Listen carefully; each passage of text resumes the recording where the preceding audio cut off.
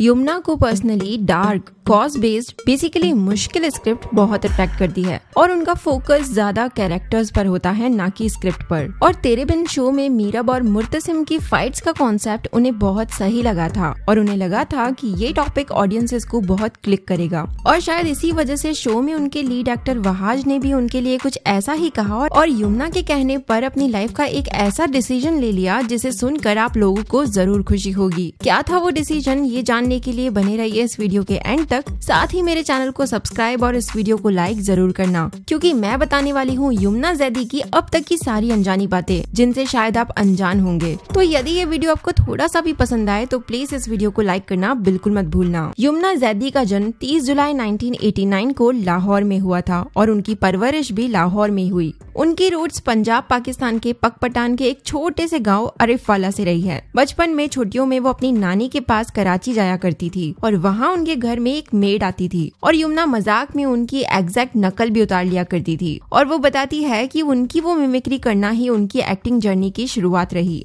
यमुना ने अपनी primary education Lahore के सेक्रेट हार्ट कॉन्वेंट स्कूल से की और स्कूलिंग खत्म होते ही उन्होंने लाहौर की यूनिवर्सिटी ऑफ़ होम इकोनॉमिक्स में एडमिशन ले लिया, जहाँ से उन्होंने आर्ट्स डिज़ाइन एंड आर्किटेक्चर में अपनी मास्टर्स डिग्री कंप्लीट की। उन्होंने इंटीरियर डिज़ाइनिंग में अपनी पीजी कंप्लीट की है और उसके बाद रेडियो जॉकी और होस्टिंग की भी कुछ सालों तक जॉब की। साथ ही स्कूल डे से ही वो सितार बजाने में भी माहिर थी और उन्हें पेंटिंग और पोइट्री लिखने का भी बहुत शौक रहा है। और वो बताती है की उन्हें पोइट्री लिखने की इंस्पिरेशन अपने माँ से मिली है। यानी अब आप समझ ही गए होंगे कि यमुना बचपन से ही काफ़ी फन लविंग और टैलेंटेड रही है। और वो बताती है कि जब वो 20 साल की थी, तभी से वो खुद को लेकर बहुत सीरियस और स्ट्रिक्ट भी थी। और उसका रिज़ल्ट ही उन्हें आज उनके करियर में देखने को मिल रहा है। उनके छोटे भाई मोहम्मद शाहजेब यूएस में बिजनेसमैन है और अपनी पीजी खत्म करते ही यमुना की पूरी फैमिली भी टेक्सास यूएस शिफ्ट हो गई। और आज वो टेक्सास से अपने काम के सिलसिले में कराची और लाहौर आती जाती रहती है और फैमिली एंड वर्क दोनों मैनेज करती है। उनकी फैमिली में उनके भाई के अलावा उनकी दो सिस्टर्स भी है, महरीन और अलीजा जैदी। उनके फादर जमींदार जैदी एक बिजनेसमैन थे, जो साल 2019 में हार्ट फेलियर की वजह से एक्सपायर हो गए। उनकी माँ शबाना नहीद जैदी एक हाउसवाइफ है और उनकी माँ उनकी सबसे अच्छी दोस्त भी है। सबसे ज़्यादा वो उन्हीं से अटैच्ड है बट उनसे कभी कभी छोटी मोटी नोकझोंक भी हो जाती है। वैसे यमुना की माँ भी उनके साथ ही कराची और लाहौर में रहने लगी है। यमुना जब एट्थ क्लास में थी,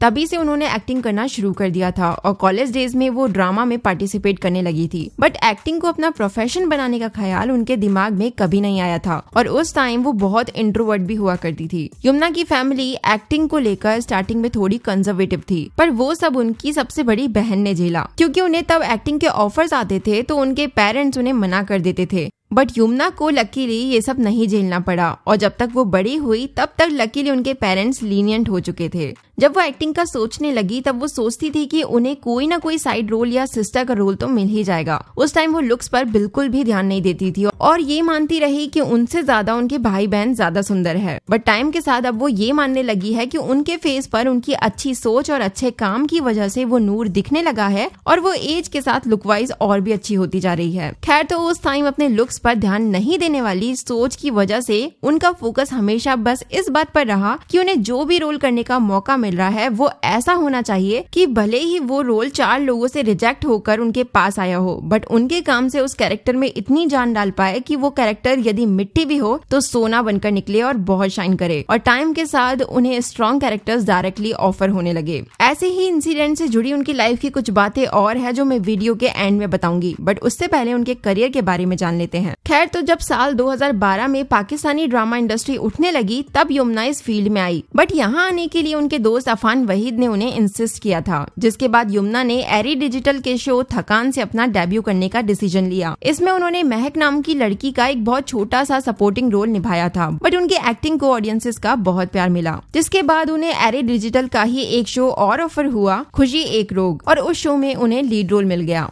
इसमें उन्होंने आबरू का रोल प्ले किया था। इन दो शोज़ को करने के बाद वो तेरी राह में रुल गई, मेरी दुलारी जैसे कई शोज़ का पार्ट रही। पर रिश्ते अधूरे से उनके करियर का वो शो रहा जिसने उनकी किस्मत बदल कर रख दी। इसमें उन्होंने एक वाइफ का रोल निभाया था और उनके रोल को बहुत बार अवार्ड के लिए नॉमिनेट किया जाता रहा।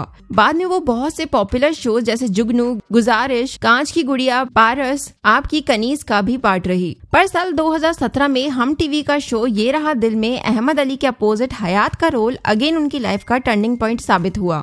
इस शो में उन्होंने एक ऐसी यंग लड़की का रोल प्ले किया था जिसकी माँ मर जाती है और उसके फादर उसे छोड़ जाते हैं और वो घर में अकेले फाइनेंशियल इश्यूज़ झेलते हुए खुश होकर जीती है। इसमें उनकी चार्मिंग पर्सनैलिटी और अहमद अली के साथ उनकी बॉन्डिंग को बेस्ट ऑन स्क्रीन कपल के लिए नॉमिनेट भी किया गया था। बाद में वो शादी इम्पॉसिबल राजे की राज़ी जैसे शोज़ में नज़र आई। पर साल 2016 का एक crime based show Udaari on air होने से पहले ही बैन कर दिया गया था, जिस पर यमुना ने सोशल मीडिया के थ्रू इसके अगेंस्ट स्टैंड लिया था। यमुना बताती है कि उन्होंने कभी नहीं सोचा था कि उनका शो दिल ना उम्मीद तो सही कभी कोई देखेगा भी, पर सुम्बल का कैरेक्टर भी उनके बेस्ट रोल्स में से एक बन गया। करंटली वो तेरे बिन शो में वाहज अली के साथ नज़र आ रही है और सभी को पता है कि आज उनकी पॉपुलैरिटी किस लेवल पर पहुँच चुकी है, और ये शो वर्ल्ड वाइड पॉपुलैरिटी लूट रहा है। वो बचपन से ही सिर्फ़ खुद को अपना कम्पिटिटर मानती है और हमेशा से ही अपनी सोच इस तरह रखती है कि आपको इस टाइम जो मिल रहा है, आप उसी में अपनी खुशी ढूंढ लो। बट यमुना की ये सोच हमेशा से नहीं थी, बल्कि काफ़ी सपने टूटे और जो चाह वो ना मिल सका, उसके बाद उनकी सोच में टाइम के साथ अंतर आ गया। दरअसल यमुना हमेशा से चाहती थी कि उनकी जल्दी शादी हो जाए। बट अब उनके मन में ये बात फिक्स्ड है कि गॉड की टाइमिंग पर ट्रस्ट करना है और जो भी मिले बस एक्सेप्ट करते जाना है। जब उन्होंने काम करना स्टार्ट किया था, तब उनके मन में इसके पीछे का मोटिव ना पैसा कमाना था और ना ही फेम पाना। बट क्योंकि वो हर दो मिनट में गॉड को याद करती रहती है, इसलिए उन्हें सब कुछ अपने आप मिलता गया। और वो खुद को काफ़ी फॉर्चुनेट मानती है। यमुना ने बचपन में ना कभी टीवी देखा और ना ही फ़िल्म फिर भी आज वो इतनी अच्छी एक्टर इसलिए बन पाई है क्योंकि पहले वो अपने पुराने इंसिडेंट्स को याद करके एक्ट किया करती थी। बट बाद में उन्होंने कैरेक्टर्स में उतरना शुरू किया और डायरेक्टर प्रोड्यूसर्स जो उनसे ज़्यादा एक्सपीरियंस हुआ करते थे, उनसे एडवाइस ले लेकर वो खुद को इम्प्रूव करने लगी। वैसे आज यमुना और वहाज अली की बॉन्डिंग सभी को बहुत अच्छी लगती है। पर शायद आप ये नहीं जानते होंगे कि पहली बार यमुना की वहाज से मुलाकात पर उनका पहला इम्प्रेशन कुछ अजीब ही रहा था। यमुना को लगा था कि ये कौन बंदा है जो बड़ा सैड सा रहता है। और वो सबसे पूछती फिरती थी कि इसको क्या हुआ है? बट वो पहले ही दिन से वहाज के साथ बहुत कंफर्टेबल थी। और आज दोनों ही एक दूसरे के फेवरेट को स्टार्स भी बन गए हैं। प्रोडक्शन ने जब यमुना को बताया था कि तेरे बिन में वहाज को कास्ट कर रहे हैं, तब वो अमेरिका में थी। बट शी इंस्टेंटली फेल्ट की इस शो में तो हम दोनों को काम करना ही चाहिए। और उन्होंने जल्दी से वहाज को कॉल करके बोला कि वो भी इस रोल के लिए हाँ कर दे। और क्योंकि वहाज मानते हैं कि यमुना की स्क्रिप्ट चॉइस बहुत अच्छी है, इसलिए उन्होंने बिना कुछ सोचे समझे इस रोल को एक सेकंड में हाँ बोल दिया। वैसे यमुना के बारे में एक नेगेटिव बात सोशल मीडिया पर ये चलती रहती है कि वो वहाज के सामने एज में बहुत बड़ी लगती है which I personally feel is not true क्योंकि मुझे तो यमुना पहली नज़र में काफ़ी यंग एंड क्यूट लड़की लगी थी। आपका क्या कहना है इस बारे में? आप कमेंट ज़रूर करें। और ये थी एक छोटी सी लाइफ जर्नी यमुना जैदी की लाइफ से आई होप ये वीडियो आपको ज़रूर पसंद आया होगा। यदि आपको ये वीडियो सच में पसंद आया है तो प्लीज़ मेरे इस काम को आप एक लाइक ज़रूर दें। और मेरे चैनल को सब्सक्राइब करना प्लीज़ बिल्कुल ना भूलें। Thank you so much for watching this video stay connected be happy